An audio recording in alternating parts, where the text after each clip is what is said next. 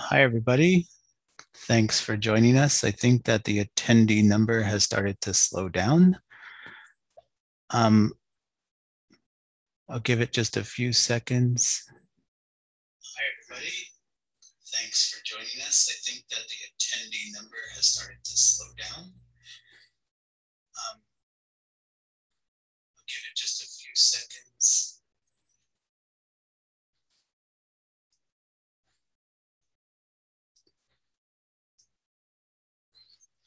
Okay.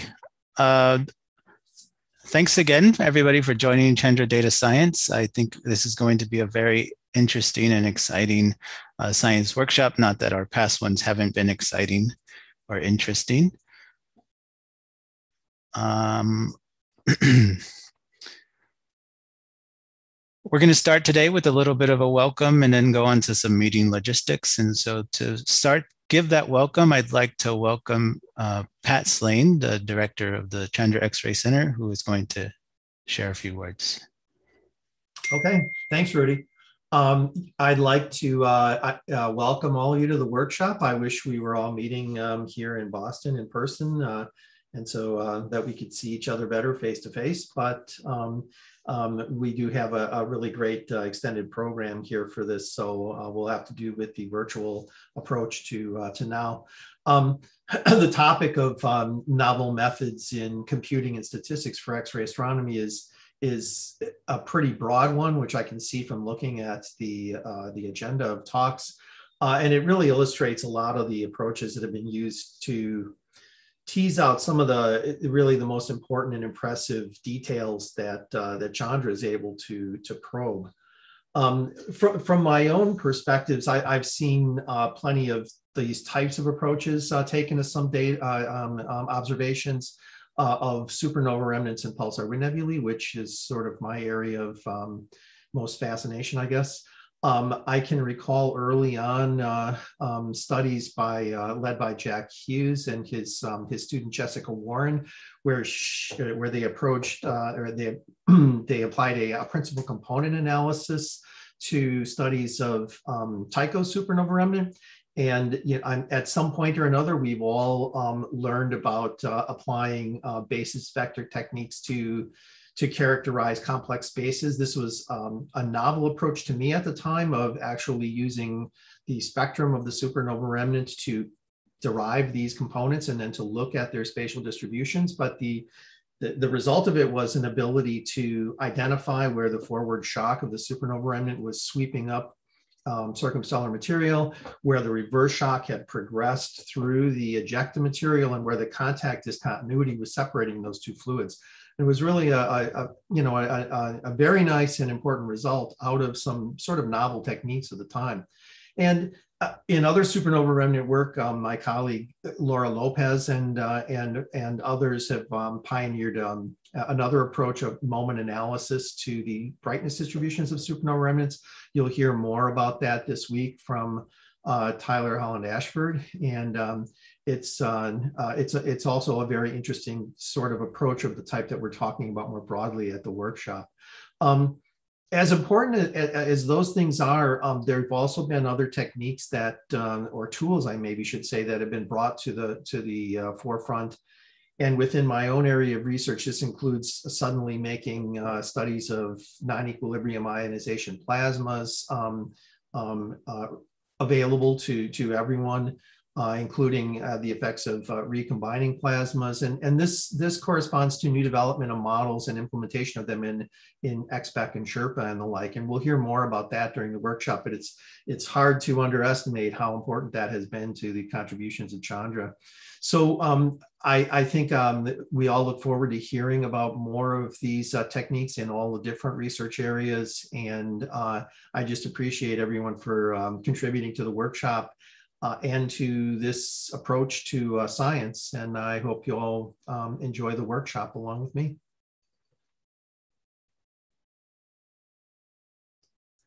Thank you very much for that, Pat.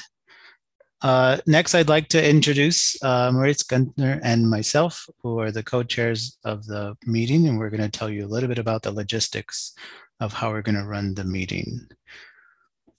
Um, we're using the Zoom platform and we're using the webinar mode, which means unfortunately that we everyone can't see all 114 of you that are in the participants channel now. Uh, but I, I want to also point out that we did send a link to you all to join the Slack channel that we set up for this workshop. Uh, in that Slack channel, we will be extending the discussions beyond whatever cannot be gotten to in the sessions that we are holding. In particular, if you have a question and you're in the Zoom session, you're welcome to put the question in the Q&A. Uh, you can also put the question in the Slack channel and we will monitor that for questions as well.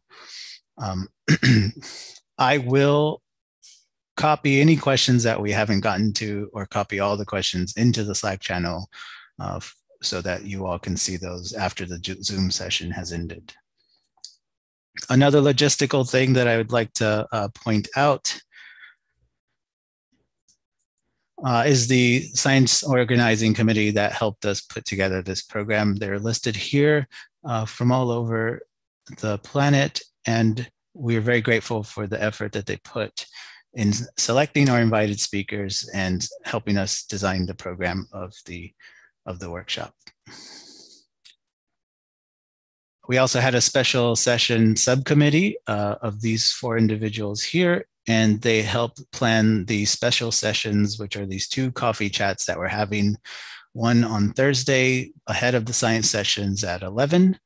Uh, it's a coffee chat with uh, folks from the AAS journals who are going to tell us about some of the aspects of software and data science applications and concerns that you might have when you're writing, publishing uh, journal articles. And we also have a coffee session on Tuesday, August 24th, with former X-ray astronomers who have gone to data science positions, and they're going to tell us about their career paths and trajectories and what it's like and how well their uh, X-ray astronomy prepared them for their new positions. We also queried you all for self-organized tutorials, and I'm showing you the results of those now. Uh, we're going to have this self-organized tutorials on the various aspects that we're talking about uh, at this meeting. We're going to have an introductory Bayesian X-ray analysis section on August 30th. That's Monday at 9 a.m. Eastern time. Uh, and then we're going to have a more advanced one on Tuesday, the 31st. And then on September 1st, we're going to have 3ML, a 3ML tutorial. Uh, these are, we'll share the Zoom information for those later with you all, and you're all welcome to attend these and participate with the instructors. We're, after each of those three, we're going to have a Chandra X-ray Center led one, one on DS9 and a lot of the advanced capabilities that DS9 has been adding to the, its uh, system. And we're going to have one on the 31st on using the Chandra source catalog to do uh, science.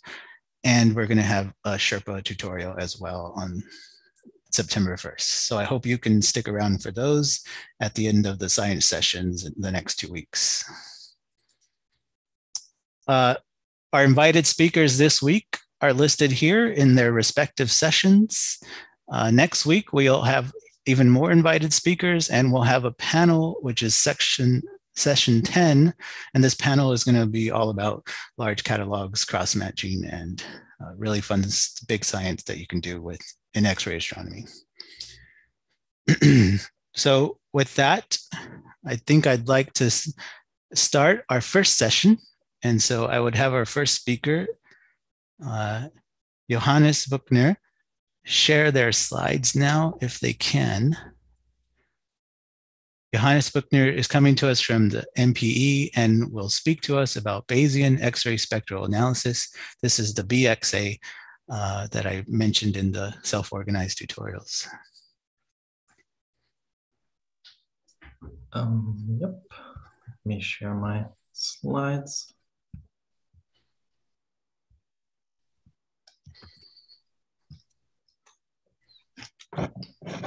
Looks good. All right. Let's see if I can bring up my self here.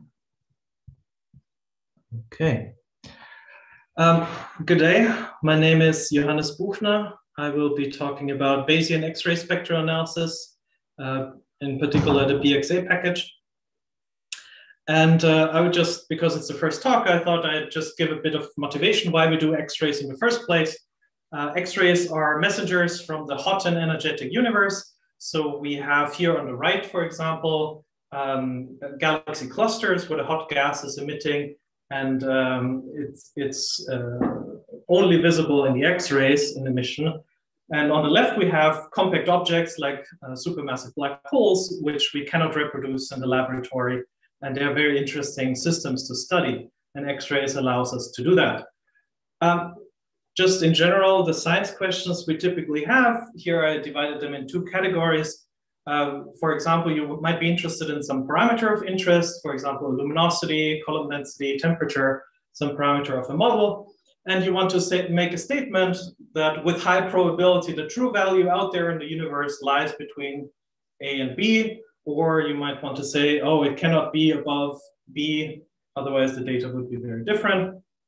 And the second type of science question we have is we want to distinguish uh, different uh, processes um, or for example, Compton scattering versus Bremsstrahlung or something like that. Or we want to test for additional absorption, emission, or cutoff features, something like that.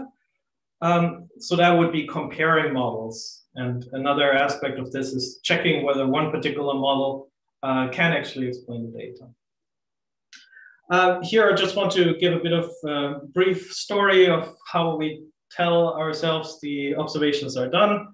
And I'll talk in particular about X-ray spectra from a point source, but uh, many of these concepts can be transferred to other data like timing and, uh, and imaging. So on the left, you have your astrophysical source with, with its source spectrum. The X-ray photons enter the uh, mirror modules of the telescope uh, twice reflected and focused on the detector, where they are transformed into an electron cloud, um, where and and count become counts in energy channels. And we can model this whole procedure by projecting through a response matrix. One is an, an example shown on the top right here.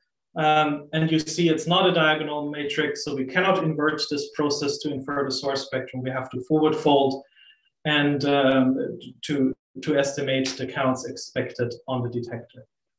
So uh, if we do this linear approximation, uh, basically you assume some source spectrum, you assume you know your instrument, you, you additionally have some background emission coming in, and you can simulate uh, what you would expect, how many counts you would get, and then you can make a Poisson uh, realization of that to compare to your actual data. Just to remind you about uh, count data, here is the Poisson distribution formula and plotted on the right. Um, the counts are integers uh, and, and they cannot be negative. So, uh, and you see from the distribution that it's not a symmetric distribution. So if you use Gaussians, um, they will lead to biases uh, uh in, in the low count regime for sure.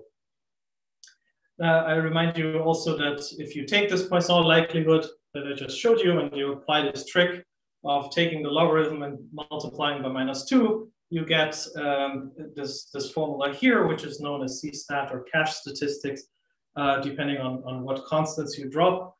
Uh, if you do the same with the Gaussian uh, likelihood, you get what's called chi-square. Uh, this doesn't mean anything except saying, oh, we assume a Poisson uh, data process or a Gaussian data process. If you have multiple bins, you project this through as I said, your flux uh, spectrum, you project it through your response and you get the number of counts you expect in each energy channel. You, you sum up your statistic and um, that gives you your likelihood. So we've, we've, we've established this forward folding that gives you the probability to produce some data, assuming all of this process, uh, assuming a source spectrum, instrument model, and so forth. Um, and that we will casually call the like likelihood. But what we actually want is the probability distribution of the source spectrum parameters. So we want the probability distribution over the parameter space, not over the data space. And we want to identify those regions in those parameters which have high probability. And nobody knows how to do this from scratch, but we know the next best thing, which is Bayesian inference. uh, and I'm sure you, many of you have, or most of you have heard about it. Uh, I'll just keep it brief. Basically, the idea is to start with a probability distribution called the prior, um, prior distribution. So that's already a probability distribution over the parameters. And you update it with the likelihood function, which is not a probability distribution over the parameters. You update it, and on the left, you get the posterior distribution. And uh, you see here on the bottom left an example of such a probability distribution, and you look at where most of the probability is, and that uh, allows you to answer some interesting science questions. Uh, the term on the bottom right in this equation is um, called the evidence. It normalizes the posterior. It's sort of the average likelihood over the parameter space. Um, and it can be used for model comparison that I will get to later. So you can do this, you can um, make grids in your parameters, and you can do uh, Bayesian inference, and everything's great. Except uh, in real life, it's a little bit more complicated. So parameter spaces like the ones shown here on the left uh, can have these weird banana shapes where they have multiple peaks they can have odd tails, and that's important if you want to put 99% uh, uh, limits on something. And they can be high dimensional, by which I mean you have 5, 10, 20 parameters uh, that you want to constrain. And at the same time, we're getting into an era where we have many sources, a large number of sources from surveys, from the X-ray archives. And even if you don't have many sources that you want to analyze, you might have one particular source, but many models that you want to contrast. Uh, and if you want to do this in reproducible science, you want, you want to use some robust algorithm that deals with these complications uh, that I mentioned. Uh, so some global algorithm that, that allows you to automate this process. And here I'll be talking about nested sampling, which, which does address these, these problems. And uh, if you're familiar with Markov chain Monte Carlo, MCMC, uh, it basically jumps around in this parameter space and the visits uh, sort of give you the, uh, the, probab the probability distribution. So you basically build a histogram in these vertical slices. But nested sampling works sort of the other way around. It makes horizontal slices. Um, so you try um, in each iteration to build one of these Lebesgue slices and uh, compute the height of the slice, which is the likelihood and the width or the volume of this accessible parameter space um, uh, at the same time. And the, the integration over these slices uh, is then the integral, the, the evidence, and the importance of each shell gives you the posterior probability distributions. So how does the algorithm work? Uh, basically, imagine your parameter space is two-dimensional, like shown here on the left. You throw in 200 points, and you find the one that gives you the worst fit and you take that one out. And you have to imagine the volume represented by these points now shrank by a factor of 1 over 200. And now um, you put another point in, drawn again uniformly according to the prior distribution, um, but with the constraint that the fit has to be better than the one you just took out. So, and if it doesn't, you, you repeat the process. And if you do this iteratively, every, in every iteration, the volume shrinks by a constant factor, one over 200. So you are, we are keeping track of the volume that is accessible and you have access to the likelihood, the height of each of, each of these slices uh, by the likelihood that you just removed. And if as you iterate and iterate, you always take out the worst fit. And so in, you end up in a situation where uh, all the points are concentrated at the best fit or near the best fit in a very tiny uh, volume, and then you can stop because uh, that tiny volume doesn't contribute to your integration anymore. Now, the missing piece here is how to draw this uni uniformly distributed random point, uh, but with this likelihood threshold. And uh, just like in MCMC, you have to put in some transition kernel in nested sampling, you have to put in that, uh, that process for this likelihood restricted prior sampling. But the nice thing is about nested sampling is that uh, there are general solutions here. Um, basically, there are two big classes, uh, some random walk algorithms, and the class that I will talk about are um, those that uh, use the existing points to find a neighborhood region and only sample, sample from that neighborhood region. And uh, quite famous is Multinest, which clusters the existing points with, an, an uh, with a clustering algorithm into ellipsoids um, and uses some uh, bit more ad hoc criteria to split these clusters. Um, and um, I will mostly be talking about ML friends, which is another algorithm which doesn't use uh, this kind of ad hoc clustering, but uh, builds ellipsoids around each point and then cross-validates, leaving some points out to make sure that the region built is robust and you have some safety guarantees. And so this is a bit more uh, well motivated, less ad hoc algorithm to use as nested sampling, and it's and but both of these algorithms work really well in practice and um, give usable results um, with realistic models. There's a review and there's some animation that you can check out how the algorithm process progresses. Um, but let me just come to BXA. So what is BXA? Well, it connects one of these uh, inference engines that is very robust based on nested sampling with a fully fledged fitting environment, which has community developed legacy models and, and new models that come in, um, and the established data formats. Um, and you, for example, Sherpa and PyXspec can be connected with BXA to Multinest or Ultranest in the latest versions. And that's just 100 lines of code in essence. Of course, now it does a little bit more, um, like background models and visualization tools. But the point is what is really enabled by this.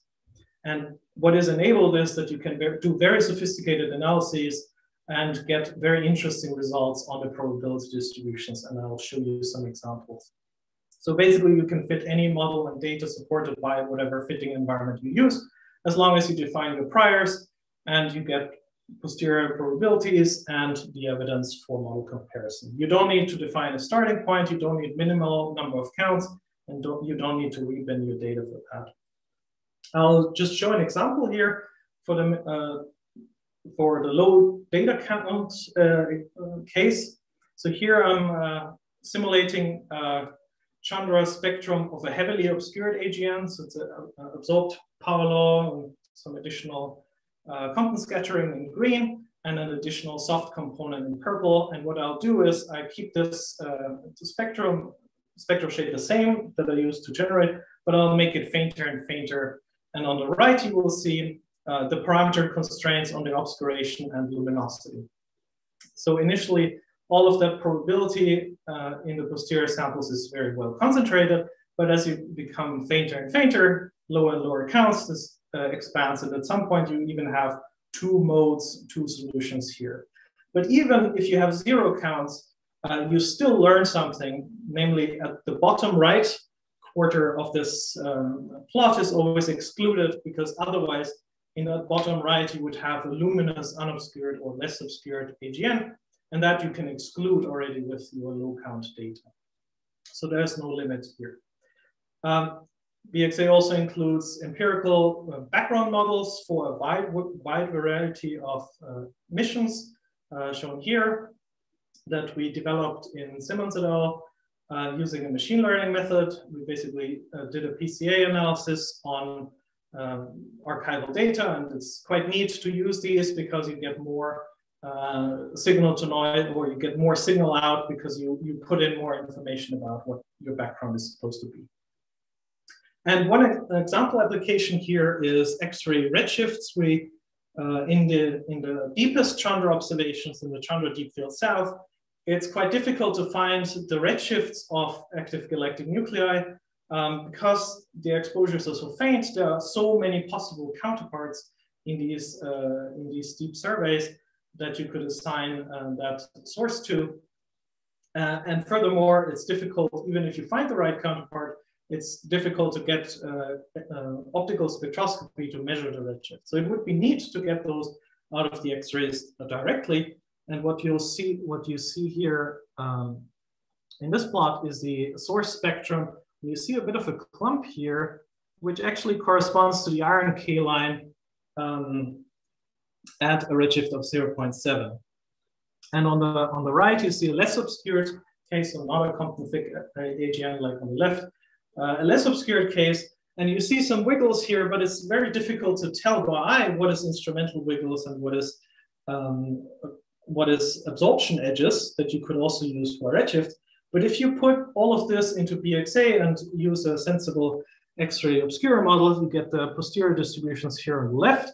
And indeed, you can constrain the uh, redshifts to the true spectroscopic values. And uh, here in the Bayesian inference, I, I, didn't have to do anything specific about uh, each instrument, whereas in the classical analysis, you would have to tune thresholds for each uh, particular instrument you analyze here.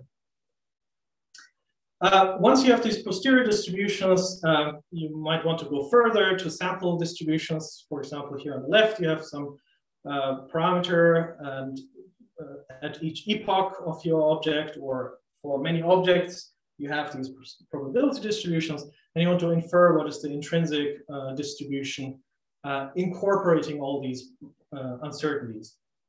And there's a very neat uh, technique to do that. I think there's a, a lightning talk on that um, called uh, hierarchical Bayesian models.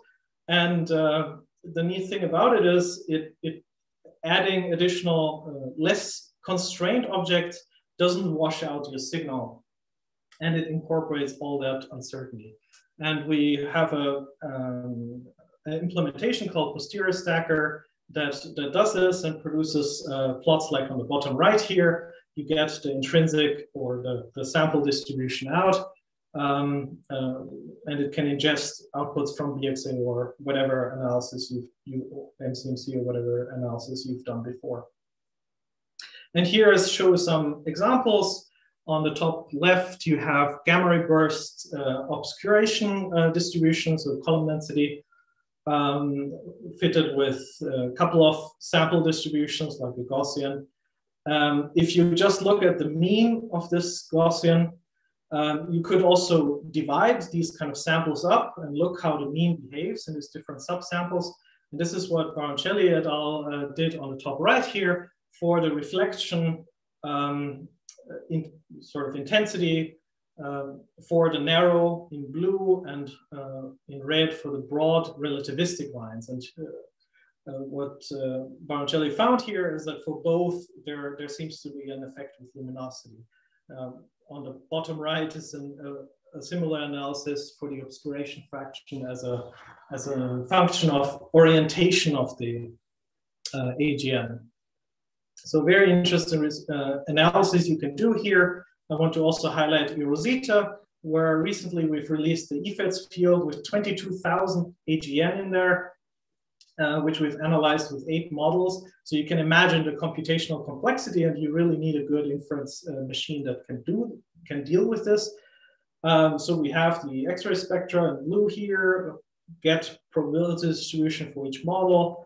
And then you want to do sample distributions like shown here on the bottom right, you get the column density distribution of that particular sample and the index distribution on the top right. Now I want to talk a bit about model comparison. Uh, for model comparison, uh, it's always important to keep in mind what question you're asking.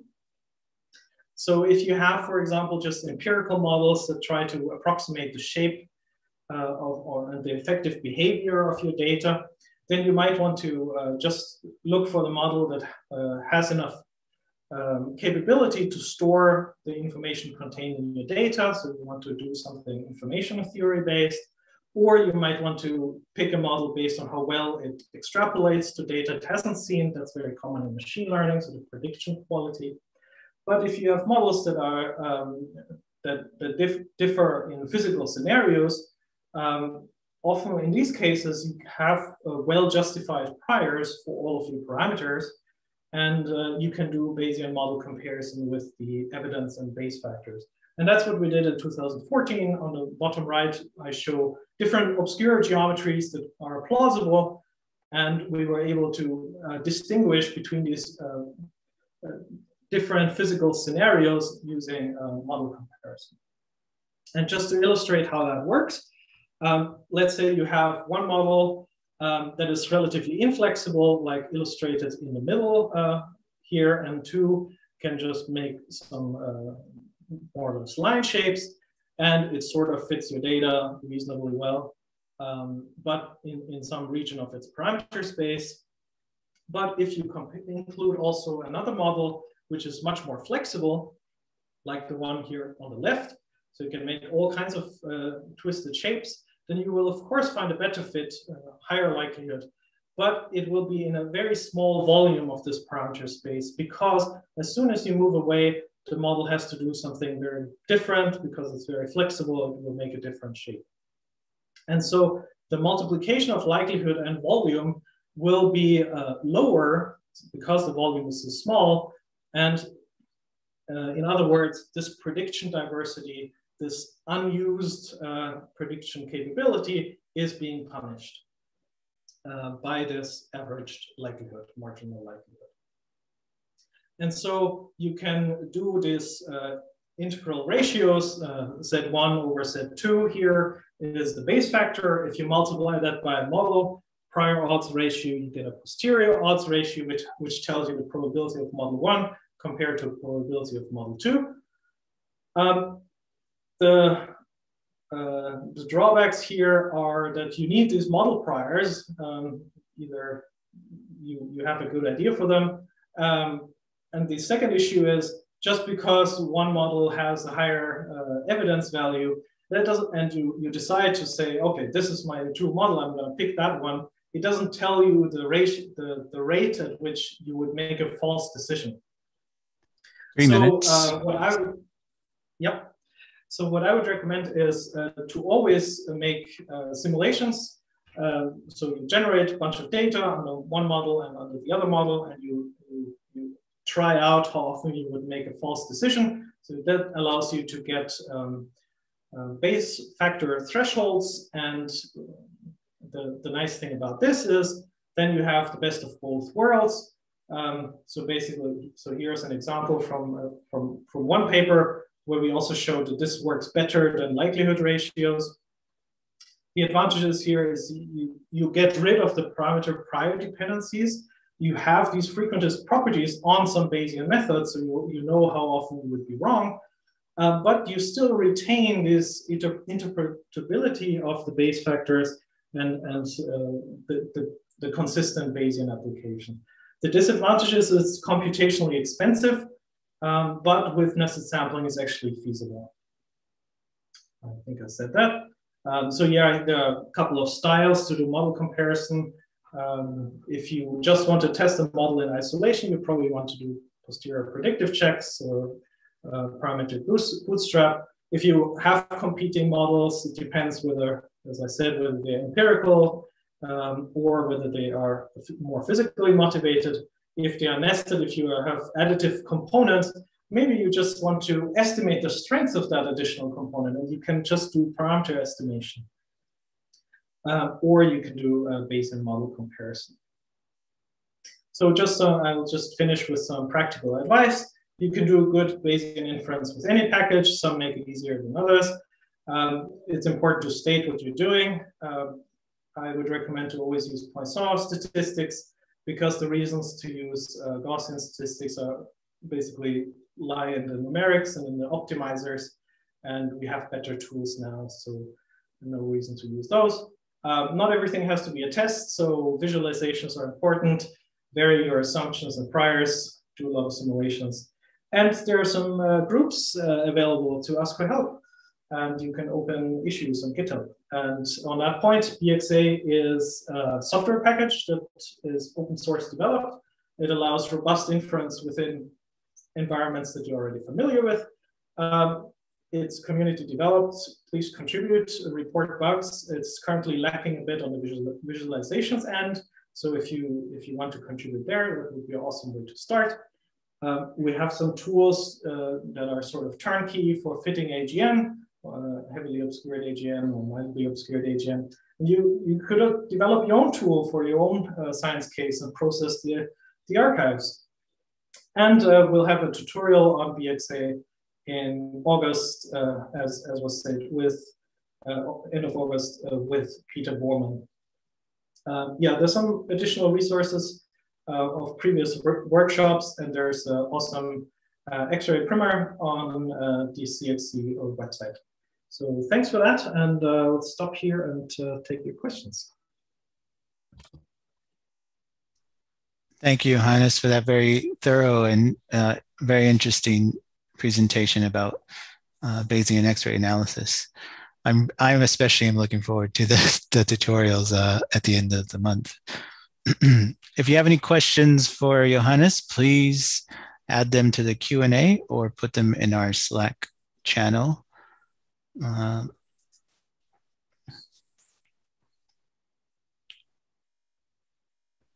if we don't have any questions right away, I can ask some, but uh, we have a question from Keith Arnaud who's asking, uh, mentioning that you didn't say anything about the choice of priors. Do you, do you want to speak about the choice of priors? Um, I'm not sure what exactly the question is, but um, yes, you do have to choose priors, and it's good practice to vary the priors and see how sensitive the result is. Um, there are some uh, well-defined ways to choose priors. Uh, for example, you want to minimize um, the, the information you put in. You want to maximize your ignorance. For example, that's that's one way to define priors. Um, you might have uh, prior knowledge from previous observations, previous uh, sample studies might give you distributions that you want to work with. Uh, so for example, for AGN, we have the photon index and we quite know quite well from the local universe the photon index distribution. And so we could apply that to high redshift universe. Another application of priors that I've used is um, we might have probability distributions from photo Z codes, right? Um, on the redshift. And now with BXA, you can actually ingest those probability distributions into your X-ray analysis may, uh, instead of just assuming one point. Now you marginalize over all of these possibilities, which have, might have multiple solutions. Um, but yeah, uh, I mean, overall, the choice of priors depends on your application, and you have to choose something sensible and, and ideally vary those, those assumptions. Thank you. Uh, we have a question from Hermath who is asking, uh, is Bayesian X-ray analysis only suitable for Cash statistics, i.e. dim sources, if they assume correctly, um, as in bright sources, the counts go to the Gaussian regime? Uh, yes, you can. You can use. Uh, I mean, if you if you know what you're doing, uh, you can you can use Gaussian statistics. If every channel that you work with uh, has high counts, sure, no problem. You can still use the Bayesian X-ray analysis is, is your answer there for for the those that are in the Gaussian uh, limit. Yeah. yeah. Cool.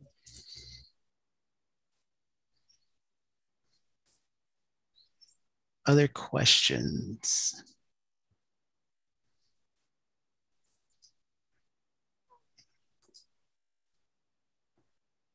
We have about one minute more for questions. Uh, if we're not getting from the audience, I will ask you one myself, Johannes. Mm-hmm. Uh, so when you're doing a model comparison, what what is the the measure or the metric that you get to to tell one or the other? Is it the probability that the model is correct or? Um, yeah, so um, so what you have here on the left is the probability of model one being the true model compared to model two being the true model, uh, given the data you have in hand. Um, but that only gives you a relative weighting. It doesn't make a decision for you. Um, and if you want to make a decision, so Bayesian inference is just for weighing probabilities. But if you want to make a decision and you want to say, oh, I have um, with some threshold on this uh, quantity, um, I will make a mistake only in 1% of the cases. Then you have to do simulations to find those thresholds. Um, does that answer your question? Yeah. Thank you. Okay, thank you again for your excellent talk. Um, I'd like for our next speakers to start sharing their slides while I introduce them.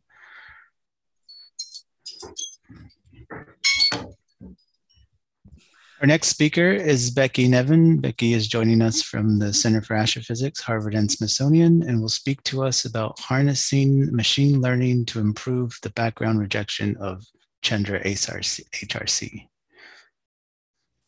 Yes. Okay, I'm unmuted. Hold you on. Are. I, of course, this isn't working after we just used it. Classic.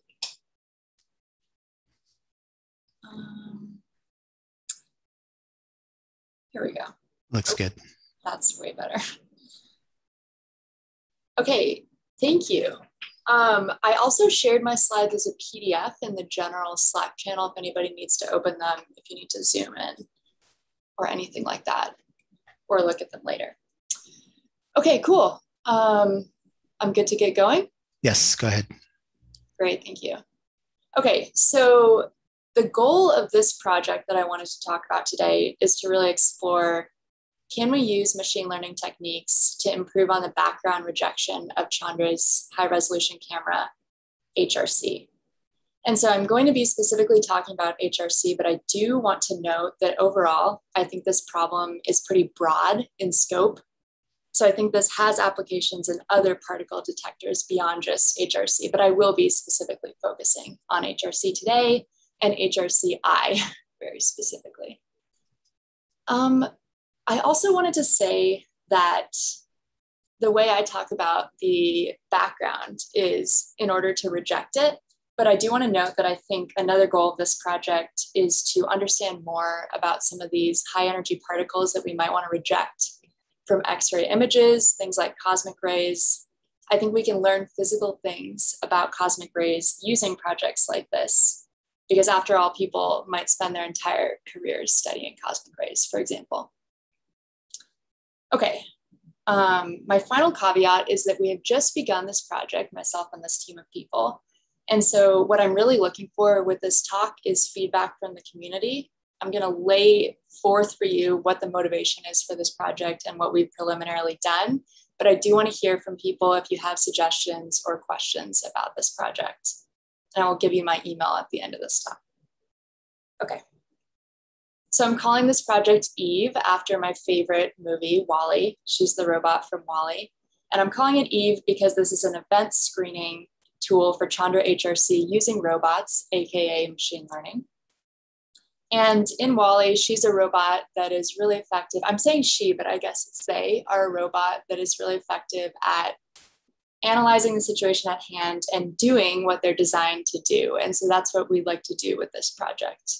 We'd like to create a tool that can scan through X ray events and understand things about those events in order to say, is this event a background event or is it definitely a real X ray event? And so that might look something like this. I'm going to describe the axes of these plot, this plot in a minute, but for now, just know that these two axes are parameters that you get from X-ray events. And what we'd like to do is use the plethora of information that we get from each individual X-ray event to assign each event a probability of being definitely background or definitely X-ray, depending on whichever way you want to think about it. So in this plot, the different colors would give you that probability.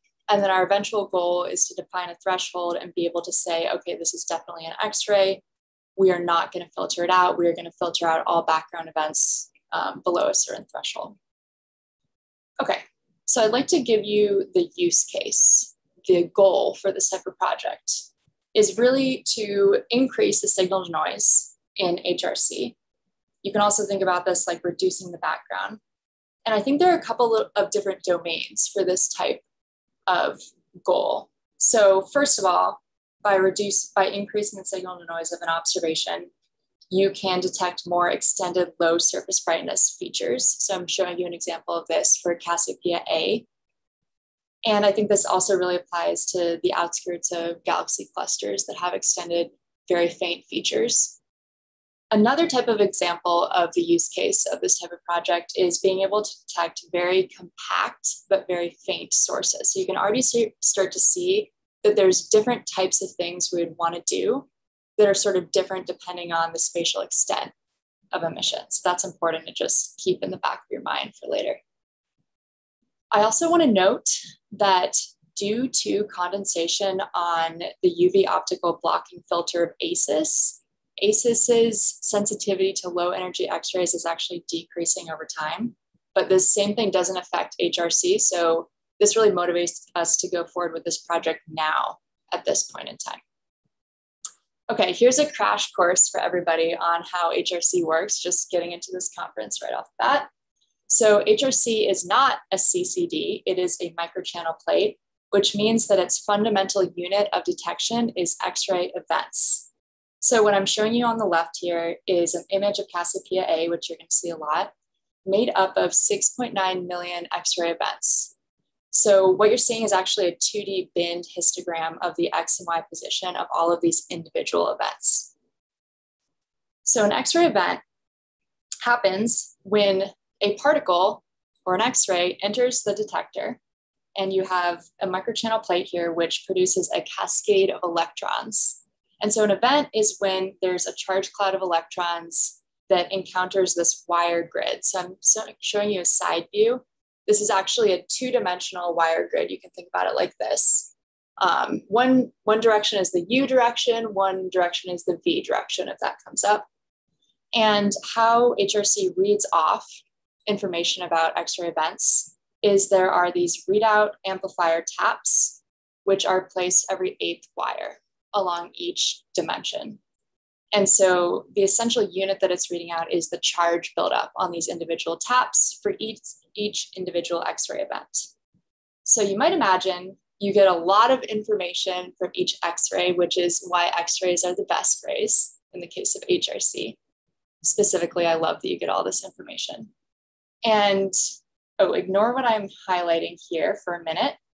I just want to show that for each individual event that's come through this microchannel plate, you get information like time, position, things that are related to the charge um, at that location. And then these um, quantities that I'm highlighting are FB and FP. These quantities are related to the distribution of the charge cloud. And so let me go into more detail about this the spatial distribution is interesting because when you have an event that comes through, um, the amplifier that has the maximal charge, B in this case, um, will be the center of the charge cloud. And then you can define these different quantities, which are very useful for this project. First, I'm going to tell you about normalized amplitude, F sub B. This is the charge at B divided by the total charge at the two neighboring amplifiers. In a similar way, you can define the fine position, F sub p, which tells you a little bit about the distribution of the charge cloud because it's giving you the charge at C over here minus the charge at A. Okay, so when you put these two quantities together into this two-dimensional space, you get a hyperbola shape, which I think about this way.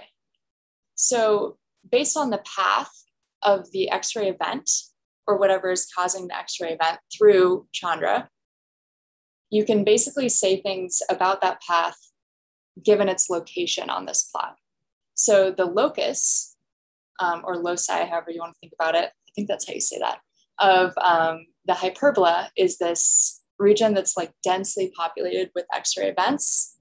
That area is most closely associated to real X-rays has been found in the past. Whereas if you have something like a cosmic ray, spoiler alert, that's a source of background, that might fall more off axis in this plot. Okay, I'm going to talk more about this in a minute. So unfortunately or fortunately, depending on who you are, cosmic rays also enter the detector. It's not just real X-rays. And so that's the source of this project. So um, the sources of high energy particles other than cosmic rays include solar energetic particles and even secondary particles that cosmic rays might trigger within the detector. But for now, I'm just going to talk about galactic cosmic rays because they're the primary source of background. Okay, so when Chandra launched, it turns out that its orbit takes it through the radiation belt. So it ends up above and through the, these radiation belts, which protect from galactic cosmic rays, which means that the cosmic ray contribution to Chandra was much larger than expected. It's about 250 counts per second. Um, for now, I would just think galactic cosmic rays are protons, electrons, or ions with energies in the range of tens of mega electron volts to giga electron volts. So the impact as cosmic rays enter HRC looks like this. They come basically all the way through the detector the majority of times. Um, Chandra HRCI has anti-coincident shielding, which reduces the non-X-ray background contribution from these cosmic rays by a factor of five. So that takes you from 250 counts per second to 50 counts per second. And basically what's happening is this anti-coincident shielding is triggering when it sees a cosmic ray that makes it through the detector, which eliminates all events that happen at, a, at the same time, point in time um, in the detector itself. Okay, but this still leaves you with 50 uh, cosmic rays counts per second. And so that is significant. And that's the whole goal of reducing the background beyond just this hardware measure. So Stephen Murray in 2000 defined a zone of acceptance in this tap space that I previously defined for you. Now it's just flipped over. And he's using the same um, types of requirements I just talked about. Basically, he found that the majority of X-ray events fall within this narrow band. And if you're outside this narrow band, you're most likely to be a cosmic ray. So he's defining this area of acceptance. This is called the hyperbola rejection technique. And it does a pretty good job, I would say. It reduces the background by a factor of two. So on the left is an unfiltered HRC image of Centaurus A, the AGN jet. And on the right, the hyperbola correction has been applied. And you can see visually by eye that it does get rid of some of the source events, about 5%, but it by far does a, it does a bigger decrease of the background events in this image. Beyond that, Grant Tremblay has been working on Hyperscreen, which is an algorithm that's very similar, but that's able to build upon this Stephen Murray algorithm to further reduce the background. So now we have a 20% lower background, which is big depending on your science goals. And I think the cool thing about Hyperscreen is that it's a dynamic acceptance zone. So it's drawing these lines around the hyperbola shape, but it's doing it on a tap by tap basis. So you can start to imagine that it's fairly important where you are um, in this charge grid. And this introduce, introduces an element of nonlinearity, showing us that various different parameters in the events are important to determining if they're real. Okay, so the, the big question for this project is, can we do better? We think yes. And we think yes because we have so many parameters to work with. And in the past, we've only been focusing mainly on these FPFB parameters. These are those hyperbola axes for the U and the V direction. But we've seen with some preliminary analysis that various other parameters like the pulse height amplitude and the sum amps are important also for separating background from X-ray detections. Okay, and that's where Eve comes in. So I wanted to get into what we've been doing with this project very briefly and give you some of the main takeaway messages. So I think the main takeaway that we've learned is that the data set we're using really matters um, because it determines what type of tool we assign for the project. So I think the first thing about the data set is that we don't have simulations of cosmic rays coming through the Chandra optical path, which is fine. We have a huge archival database of HRC observations over many, many years. And so that's what we've been using as our training set for this project. Then to get a little bit more nuanced, it really matters what you use as background examples and as real or foreground, or I sometimes call them source examples. So those two things really matter. What also matters is your degree of certainty. if something is a background event or a foreground event. And so there are a couple of different options if we want to adjust our degree of certainty. So supervised learning is when you know for sure, you're saying we know for sure which is a background event and which is a foreground event in our training set. Semi-supervised has proved to be a little bit more flexible because we can relax one of those um, we know for sure sides of that assumption. So I'm going to give you a brief example of both of these approaches. So for the supervised approach, we've been using a random forest, which is an ensemble of decision trees. So any individual decision tree basically takes this huge data, data table, excuse me, I almost said, or data frame, depending if you're thinking in a Python mindset, data frame of information, and determines which are the most useful parameters in this data frame to separate and classify at each junction. Um, so random forest is able to combine many different individual decision trees, which is useful because it gets a better idea of overall what are the most useful predictors. Um, I like random forests because they are not a black box. Instead, what you're able to do with them is look at which are the most informative predictors and really break down physically what that might mean for your problem. Okay, so we train a supervised random forest using what I'm calling image cutouts. So for example, here's an HRC eye observation of the Lockman hole, which is a region of low column in the galaxy. And it, you can see, or maybe you can't see, this is very faint. There are still X-ray sources in this image. So what I'm doing is actually cutting them out using source extractor and then saying, okay, these orange dots are our regions of source and everything else is the background. And we're saying we know both of those for sure. And here I'm showing you the distribution of these same events in the hyperbola space. So, oh, thank you.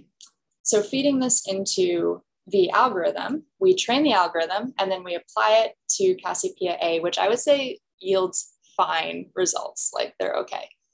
Um, so here is an example of X-ray events we classify as definitely background. Um, first problem, Cassiopeia A clearly appears in this example. So that's something we've been thinking about. Um, but something good about this is that very faintly around the outside, um, the events around the outside of this image are more likely to be classified as background. You can also see this when you look at the events that are classified as source from this example it really leaves out the outside. So I think the main takeaways from this type of analysis is that we've been thinking about how to balance the relative examples. That's important for random forests.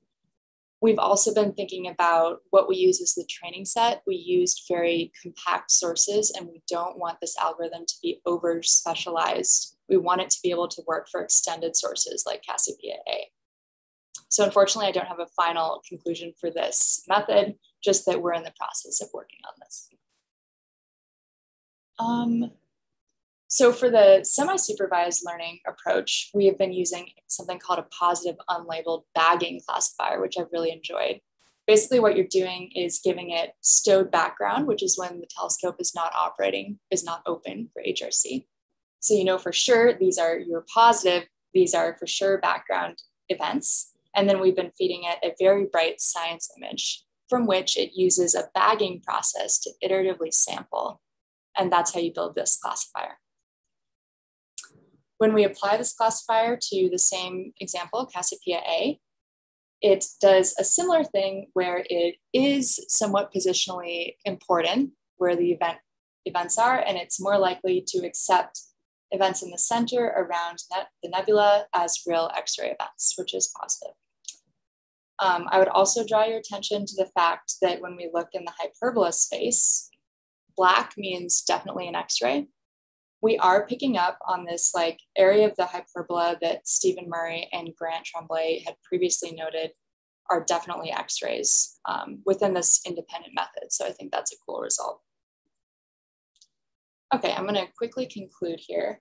So I'd say the lessons learned so far are that cosmic rays are a significant contribution Chandra HRC, and that over time, um, we do need to address these and find different ways to think about them.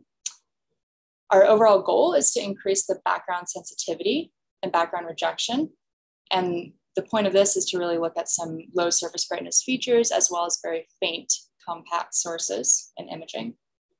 And then I talked briefly about how the design of the training set is actually very important to the approach that we end up using for this project. And I talked about two such approaches we've been pursuing. And then finally, I will just leave my email here in case anybody has any thoughts or suggestions for this project or training set.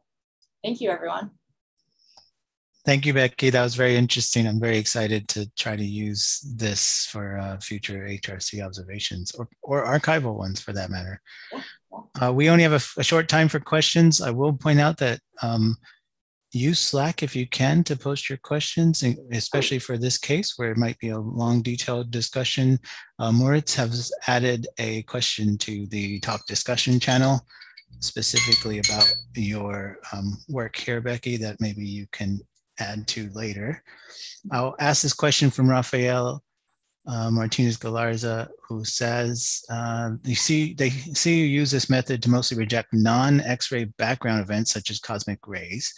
Can you also use it to separate source photons from a background source photons, um, i.e. photons that might have similar properties and might share the same spatial location as the source, but that are not associated with it? that is a very interesting question. We've also been thinking about the difference between non X ray and X ray background. And for now, we're really focusing on the non X ray background because my suspicion is that it will be easier to separate in this parameter space.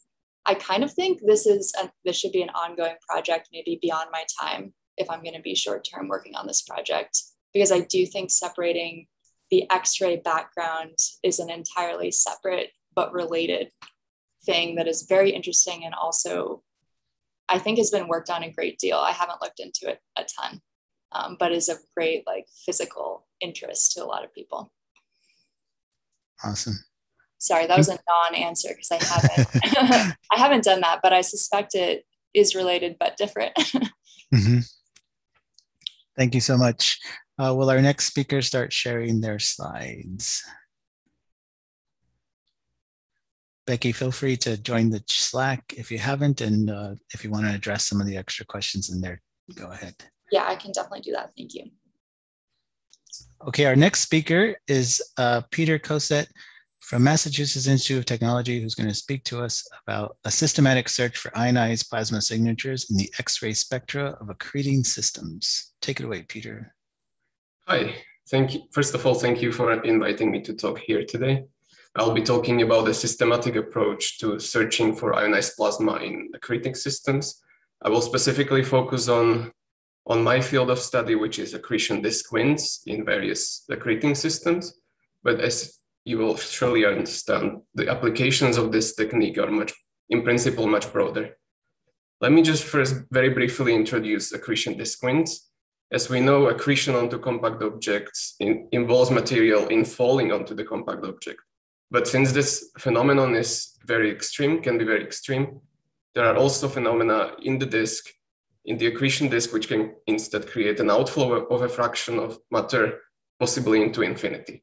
Such winds have been observationally discovered in many different types of accreting systems. Actually, I would say that they have been discovered in most types of accreting systems that include X-ray binaries, active galactic nuclei, and ultraluminous X-ray sources, in my talk, I will mostly focus on this last type on ULXs. And the most important property of this outflow of this disk wind is, is its velocity. It strongly depends on where it originates from, since the escape velocity at each radius is related to the circular velocity in this disk. So therefore, if we have a, an outflow from the inner accretion flow, the velocity of this outflow can easily reach high fractions of the speed of the light between 0.1 to 0.3 speed of the light, and therefore it has extreme kinetic power and can affect, it can potentially affect the accretor sur surroundings very greatly. For example, we think that these winds could contribute or, or even drive AGN feedback in galaxies. And then in a smaller, on a smaller scale, we observe huge ionized bubbles of plasma around these ultraluminous X-ray sources, which could also be driven by, by powerful winds. I said there are some mechanisms that can drive these outflows from the accretion disk. I will just go through one of these in, in more detail. As we know, the material inflows through the accretion disk of, of a compact object, and it loses some fraction of its potential energy through radiation.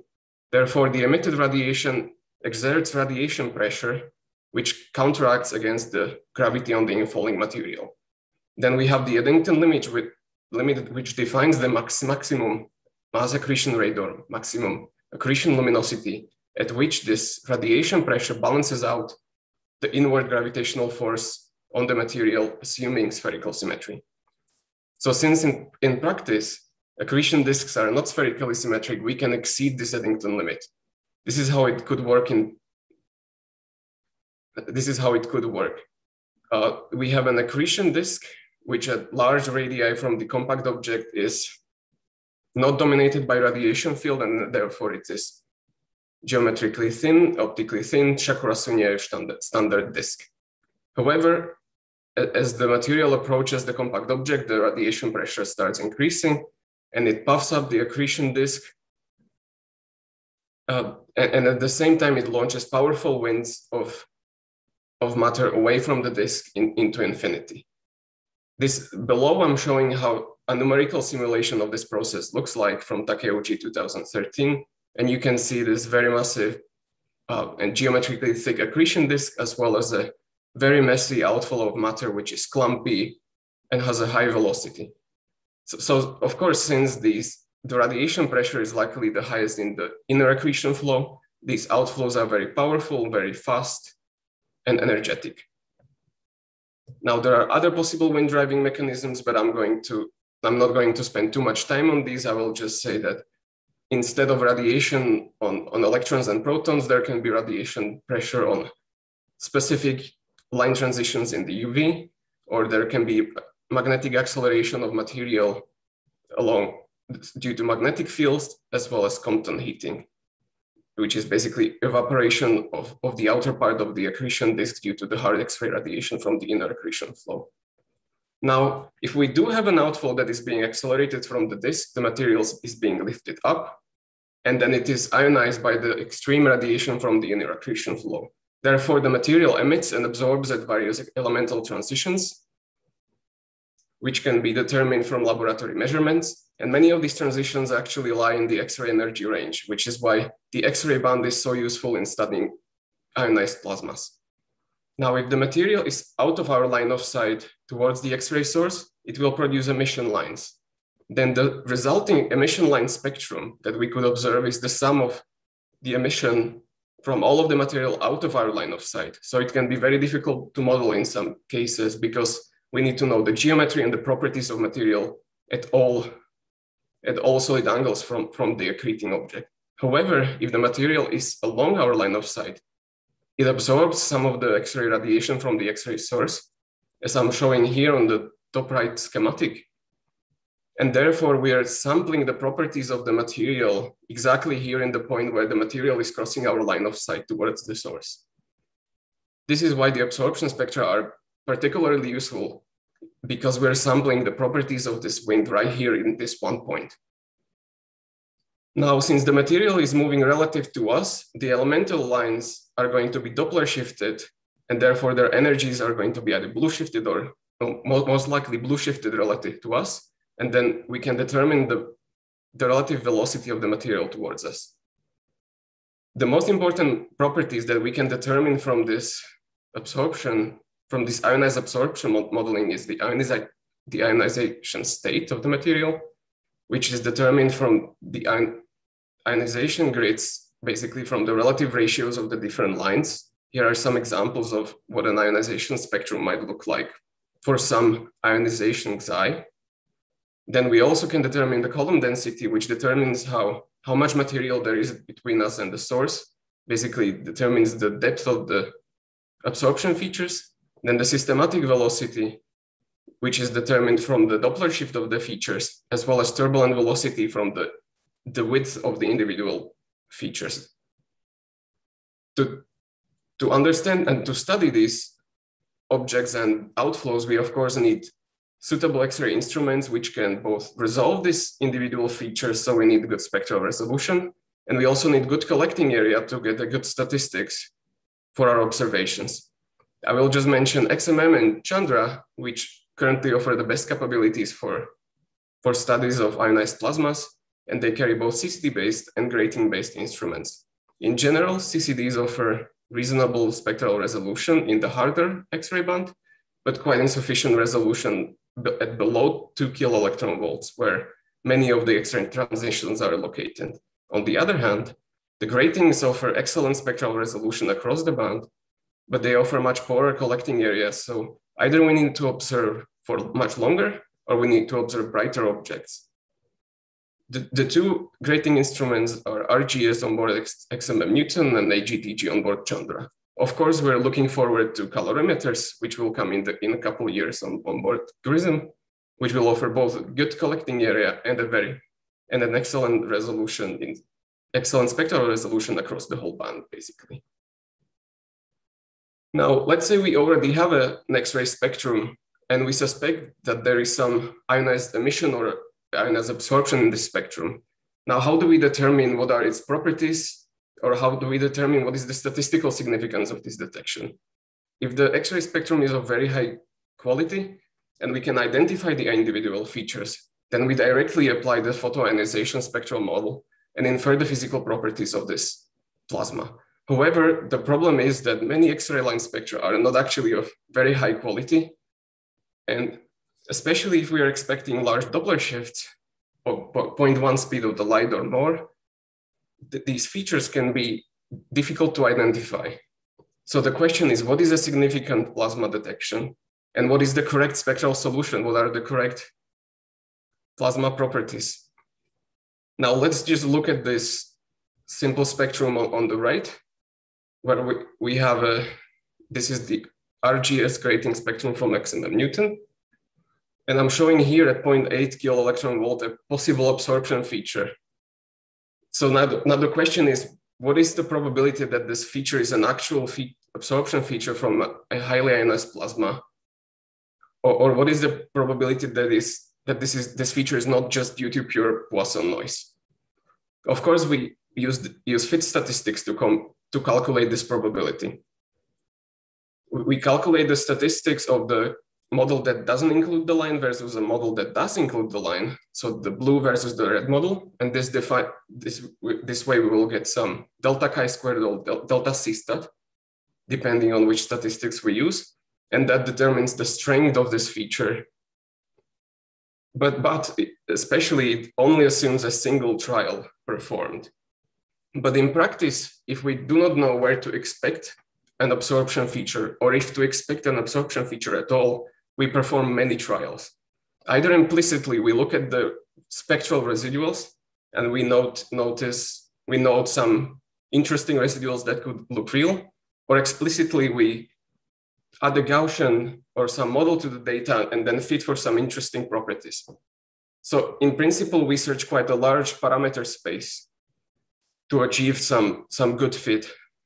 And, and since we search such a large parameter space, this increases the probability that the space will contain a strong feature that is, however, only due to Poisson noise. And, and therefore, it, it could be interpreted as a real feature, but it would be completely fake. This is called the look elsewhere effect.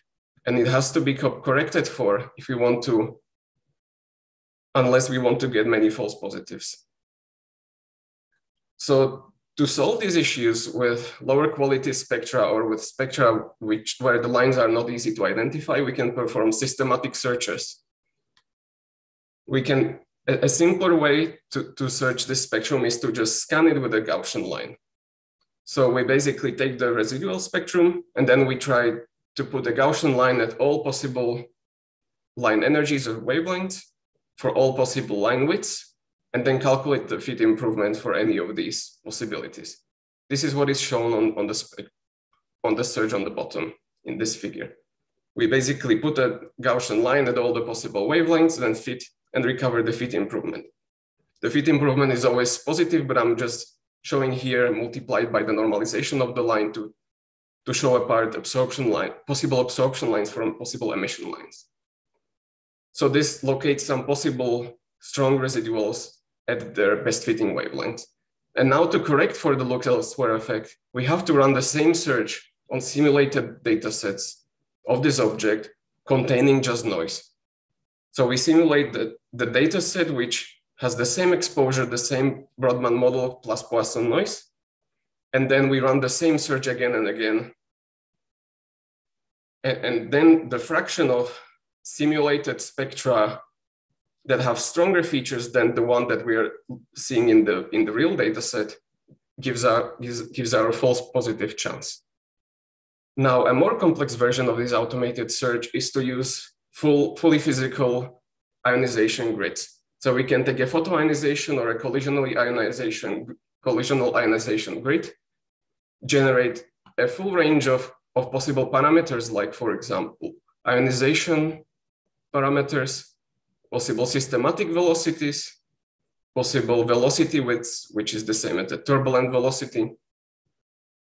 And then we apply, we again fit all these different possibilities to the data and recover the fit improvement.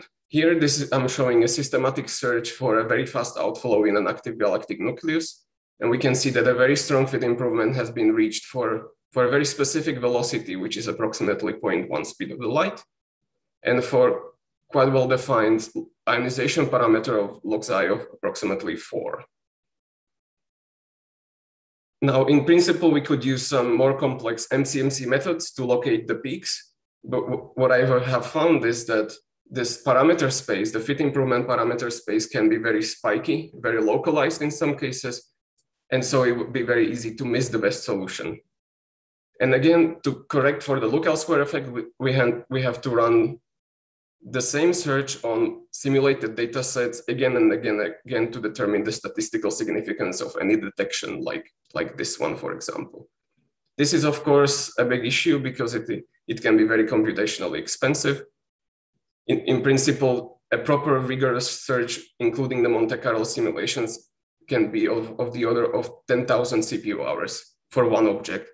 So it is definitely usable if we are studying a small number of objects, but it is quite difficult to use if, if we want to study a large sample of objects. Now, in the second part of my talk, I would like to go over some applications of this search. I will specifically focus on ultra-luminous X-ray sources. ULXs are defined as any non-nuclear point X-ray source with an isotropic X-ray luminosity ex exceeding the Eddington luminosity of a standard star mass black hole that is 10 to 39 ergs per second. So these objects are not active galactic nuclei, they are not supermassive black holes. They're often found in star-forming regions and galaxies and in low abundance regions. Here on the left plot, I'm showing one example, which is the cartwheel merger. We, on the left is the HST image in optical and UV, and then in the middle is the X-ray image with Chandra, which is showing many ultraluminous X-ray sources in the, in the sites of local star formation. Many times we also see these ultra, ultraluminous X-ray sources located in these massive bubbles, hundreds of parsecs large, of ionized plasma, which indicate that their luminosity is true and not beamed just towards us. So the long-standing question has been, what are these objects? Are they more massive black holes accreting at sub-Eddington rates, or are they super-Eddington accretors? Nowadays, we know that at least the majority of them are in fact super-Eddington accretors many or maybe most of them are actually neutron stars. So since their accretion flow is supercritical, dominated by radiation pressure, it's a good question to ask if we can detect any fast radiation-driven winds in, in their spectra. And in fact, in some of these objects with the best quality data sets, such winds have been found. ULXs are quite luminous, but since they're located in external galaxies, their fluxes are very low. So only in, in the best quality, in, a few objects with the best quality data sets, we have been able to achieve the, these kind of detections. Here is the best example from NGC 1313X1. So Pinto et al. detected these highly blue shifted absorption features in the in, in the spectrum of, of NGC 1313X1 with a velocity of 0.1 to 0.2 speed of the light. At the same time, so these come from, from a very fast, powerful wind that is being blown from the accretion disk. At the same time, they, they detected these um, narrow emission features, which seem to be low velocity or almost rest frame, so come from, from some stationary plasma. So to, to detect these features and resolve them, the absorption from the emission, we need, we really need high resolution X-ray instruments like gratings. But now what about the other ULXs? These these have much poorer X-ray spectra in general. So in, in this spectra, it will be much more difficult to identify the individual line features. So we use the, the systematic search to try to detect any, any signatures of ionized plasma in their spectra. Here is one, one example, which is NGC 300 ULX1. This is a nearby ULX with a good quality XMM Newton and NuSTAR observations, in which we took all of these observations and then we then we performed the same systematic search as, as I've described in the first part of my talk.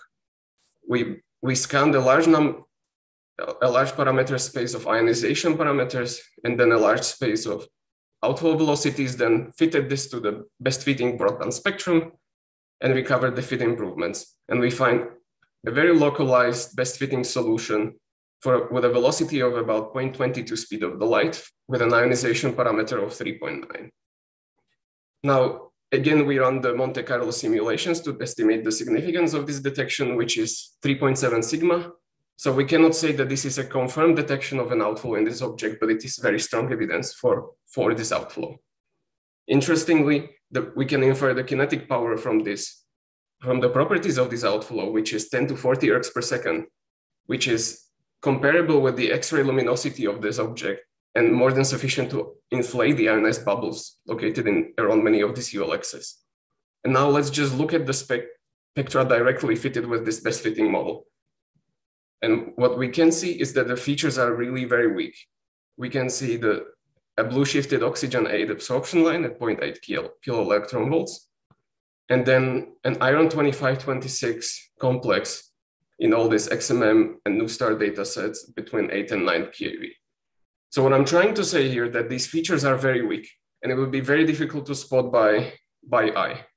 And this is why the systematic search is so useful. It can locate the best fitting solution and then it can also tell you exactly what is the statistical significance of this detection. What basically, what is the chance that these, these residuals are due to pure noise.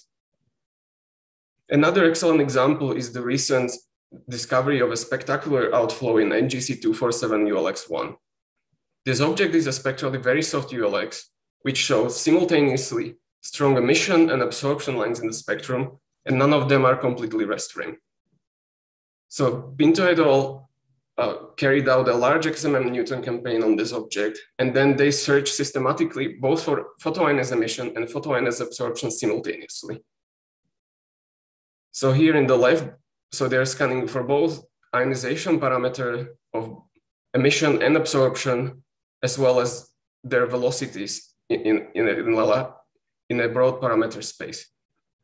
And, and they, they found that the best fitting photoionized emission, photoionized emission is a is redshifted with a velocity of approximately 0.04 speed of the light. And the photoionized absorption is blue shifted with a velocity of approximately 0.17 speed of the light.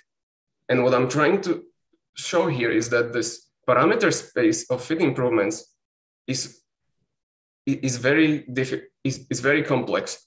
And then, and if you this search was performed by hand, it would be very easy to miss the best best fitting solution.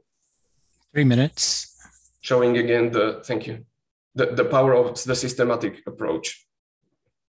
Now, in, in the last part of my talk, I will talk about our most recent project, which is a systematic search for ionized emission and absorption in the population of ultraluminous X-ray sources. Our initial studies of, of a broader population of ULXs showed that, shown that we find emission, emission lines from oxygen at low velocities in, in multiple sources, not just the ones in, with the best quality data sets. So we decided to collect all of the good quality ULX data sets and search them for any narrow spectral lines, both in absorption and in, in emission. In, in the final sample, we collected 17 ULXs and two super Eddington pulsars to create a sample on super Eddington accretion in stellar mass objects, almost 100 observations, and then search them all for narrow spectral lines. As I said, this is a very costly project using the traditional fitting method. So we developed a completely new search method, which is similar to the direct fitting, including the Monte Carlo simulations. But instead of fitting, we're calculating cross correlations between the spectral models and, and the data. Applying this cross correlation search to all of the observations, we detected the, we selected the strongest line detections and created the first catalog of spectral lines in soft X-ray spectral ULXs with more than 100 line detections. And here is the histogram of the detected features, separating the emission lines from the absorption features. What we find is that the emission lines seem to be strongly concentrated around the rest frame transitions of magnesium, neon, iron, oxygen, and nitrogen. So this is again the same picture as we have seen in the best quality ULX dataset, is that we have this low velocity but quite highly ionized plasma, which produces these emission, emission lines.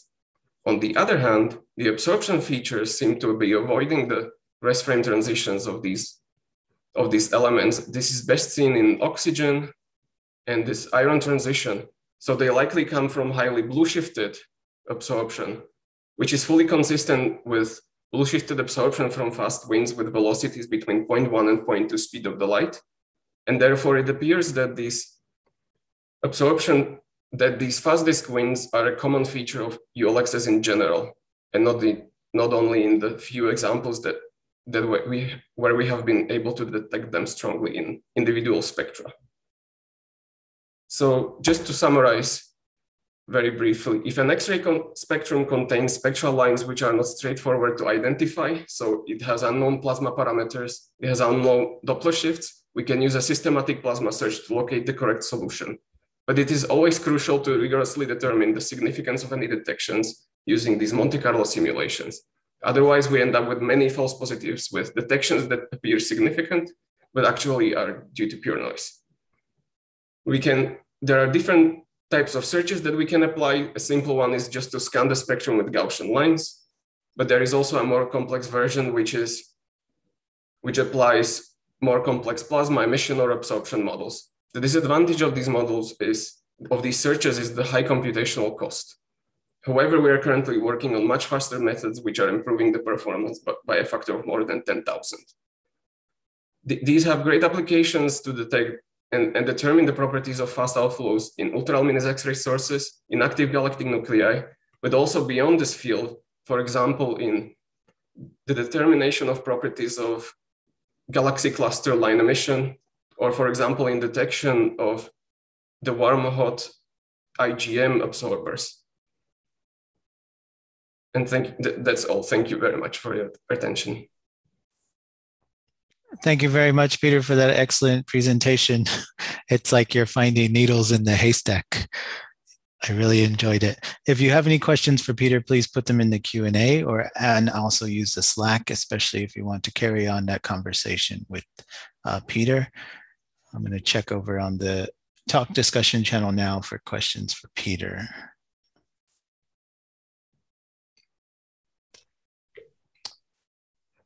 If we have no questions from the audience, I will ask a couple of questions that I had for you, Peter. Um, I learned this new term, look elsewhere effect from your talk.